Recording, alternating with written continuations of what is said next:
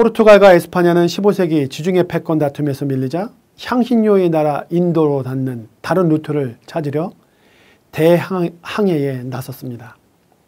오스만 제국이 콘스탄티노플을 장악해 후추, 계피, 카르다몬 등을 들여오던 실크로드가 차단됐기 때문에 동양과 연결하는 통로가 절실한 터였죠. 포르투갈은 북아프리카 주변 바닷길을 탐험하다 1488년 희망봉을 발견합니다. 이어 9년 뒤인 1497년엔 바스코 다 가마가 이끈 네 척의 배가 희망봉을 돌아 인도양 넘어 인도에 도착합니다. 포르투갈은 향신료 무역으로 막대한 이득을 챙겨 급속도로 해상 제국이 됐습니다. 후추가 금보다 비싸게 거래되던 시절이었습니다. 포르투갈은 서아프리카를 휩쓸며 노예와 금을 선박에 꽉 채워 들여왔습니다. 노예 무역을 허락한 교황의 칙서 탓에 아프리카에선 잔인한 노예 사냥이 버젓이 벌어졌습니다. 포르투갈에 질세라 스페인은 이탈리아 탐험가 콜럼버스를 끌어들여 아메리카 대륙을 발견하고 서인도 제도와 남아메리카의 수많은 지역을 식민지로 거머쥡니다. 포르투갈과 스페인을 통해 아시아와 아메리카에서 후추, 금, 노예 등 막대한 이익을 보장하는 상품들이 유럽으로 유입되자 영국, 프랑스, 네덜란드도 안달이 났습니다. 네덜란드는 동남아시아로 눈을 돌렸습니다. 16세기 말 인도네시아, 말루코 제도 등 정향과 육두구의 주요 산지와 동맹을 맺고 수백 톤의 향신료를 유럽으로 실어 날랐습니다.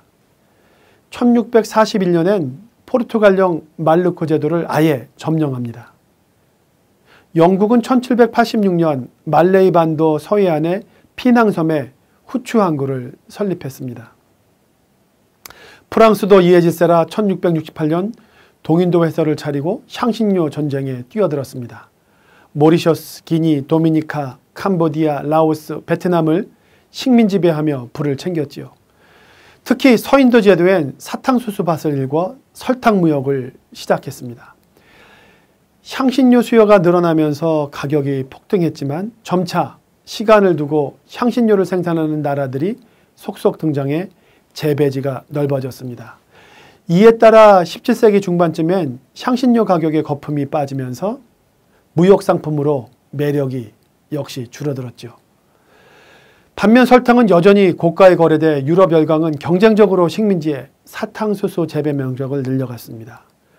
설탕을 만드는 일은 사탕수수 수확뿐 아니라 섭씨 50도에서 60도의 고열에서 가마솥 작업을 벌여야 하는 매우 고된 일이라 노동력을 확보하기가 쉽지 않았었습니다. 유럽 열강은 아메리카 원주민을 강제로 동원했지만 전염병으로 거의 사라질 정도가 되자 아프리카로 눈을 돌려 흑인들을 데려다 쓸 몹쓸 생각을 합니다. 유럽인들이 아메리카를 점령한 지 200년 만에 원주민은 10분의 1로 급격히 줄어들었습니다. 그나마 생존한 원주민들은 산속 깊숙이 숨어들었습니다. 아메리카 대륙엔 설탕 주문이 쇄도했지만 이를 만들어낼 인력이 턱없이 부족한 상황이 됐습니다. 유럽은 인도나 중국에서 향신료와 차를 수입하느라 쌓인 적자를 아메리카에서 약탈하는 금과 은으로 메워왔습니다. 이것만으로 부족하자 담배, 커피, 사탕수수, 면화재배에 매달리는데요. 재배에 많은 인력이 필요해지면서 노동력을 조달하는 노예 무역도 큰 수익거리로 떠올랐습니다. 포르투갈은 이미 서아프리카 탐험을 하면서 구축한 노예 사냥을 더욱 본격화합니다. 에스파냐와 영국, 네덜란드, 프랑스 등도 속속 흑인 사냥에 가세했습니다. 노예무역이 불을 약속하는 아이템이 된 것은 삼강무역 때문이기도 했습니다. 유럽은 면직물이나 총, 화약을 싣고 아프리카 서해안에 이르러 흑인 노예와 교환했습니다. 다시 그 배를 타고 아메리카 대륙으로 건너가 노동력이 필요한 농장에 노예를 팔고 빈 배에 설탕, 커피, 담배, 면화를 싣고 돌아왔습니다. 한 번의 항해에서 세 개 품목을 대량 거래하는 삼각 무역 기법은 최고 500%의 엄청난 이익을 안겨줬습니다. 노예 무역이 가장 심했던 시기가 계몽주의의 싹이 터 프랑스 혁명과 미국 독립운동의 기운이 충만했던 18세기라는 사실 또한 역사적 아이러니가 아닐 수 없습니다. 이 시기에 아메리카 대륙으로 끌려간 아프리카 원주민은 한 해 8만 명에 달했던 것으로 전해집니다. 노예 노동이 필요한 사탕수수 농사가 사탕무에서 설탕을 추출하는 기술 개발로 그 기세가 잦아질 수 있는 기회가 찾아왔습니다. 1805년 스페인 남부 트라팔가 해전에서 영국의 넬슨 함대에 패한 나폴레옹은 대륙 봉쇄령을 내려 영국을 고립시킵니다. 이로 인해 영국의 선박이 묶이면서 오히려 프랑스를 비롯한 대륙 국가들이 여러 가지 곤란을 겪게 됩니다. 배편이 부족해 서인도 제도에서 싣고 오던 설탕 유입이 차단된 것도 그 중에 하나지요. 이때 나폴레옹이 사탕무로 설탕을 만들도록 한 것이 결과적으로 사탕수수를 둘러싸고 벌어진 치열한 무역 경쟁을 차분하게 만든 계기가 됐습니다. 그러나 안타깝게도 노예의 순환사는 멈추지 않았습니다.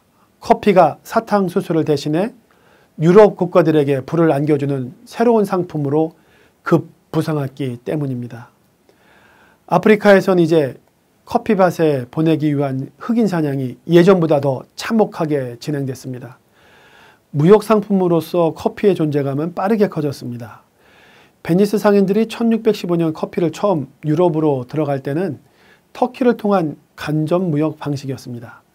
중동 상인들이 터키에 전한 커피를 받아오는 형식이었죠. 그러나 이후 반세기 만에 네덜란드 상인들이 예멘의 모카항에서 정기선을 띄워 커피를 직접 수입합니다. 런던, 파리, 빈, 프라하, 뉘른베르크, 함부르크, 라이프치히 등 도시마다 최초의 카페들이 문을 열면서 유럽은 커피에 빠져들었습니다. 수요량이 폭증하는 상황에서도 커피 공급원은 여전히 예멘뿐이었습니다. 유럽 각국은 커피가 한때의 유행에 그치지 않을 것이라는 확신이 서자 아예 식민지에 커피나무를 심게 됩니다. 네덜란드가 1658년 실론에 커피나무를 옮겨 심은 것을 신호로 유럽 강국들 사이에선 커피 재배 경쟁이 시작됐습니다. 1680년부터 인도네시아 자바에서 커피를 재배한 네덜란드는 1712년 처음으로 커피 400kg 가량을 자국으로 들여왔습니다. 아라비아 상인을 통하지 않고 자급자족한 이른바 식민지 커피가 탄생한 순간이었습니다. 15년 뒤 자바 커피 유입량은 700톤, 1855년엔 7만 7천 톤에 달했습니다. 자바 주민이 식년난을 겪을 정도로 현지는 온통 커피밭으로 바뀌었습니다. 프랑스는 네덜란드에서 커피 묘목을 받아 1724년 서인도 제도의 마르티니크 섬에서 재배를 시작했습니다. 여기서 자란 나무가 브라질로 옮겨지고 연이어 퍼져나가면서 사실상 아메리카 대륙에 퍼지는 커피의 원조가 되었죠.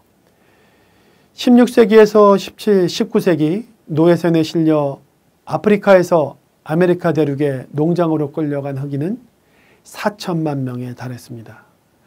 이들을 착취해 서유럽과 미국은 큰 돈을 벌었고요. 영국에서 시작된 산업혁명의 동력은 삼각무역에서 조달됐고 삼각무역은 아프리카 흑인들에겐 인권 유린과 참혹함의 상징이었습니다.